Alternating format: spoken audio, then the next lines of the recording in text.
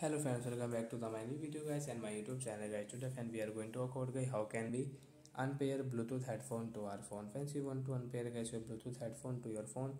So then how can you unpair? Today i will show you in this video guys.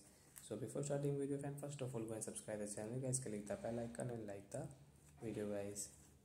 So first of all guys we will on our phone setting to unpair our bluetooth headphone.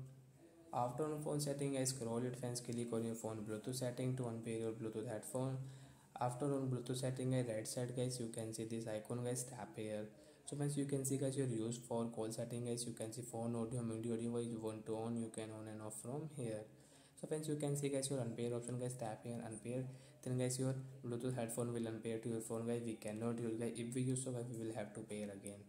Otherwise guys we cannot use this headphone so we will off our phone bluetooth setting. So like that guys we can unpair bluetooth headphone to our phone. So that's it guys. Thanks for watching the video. Bye guys and we will off it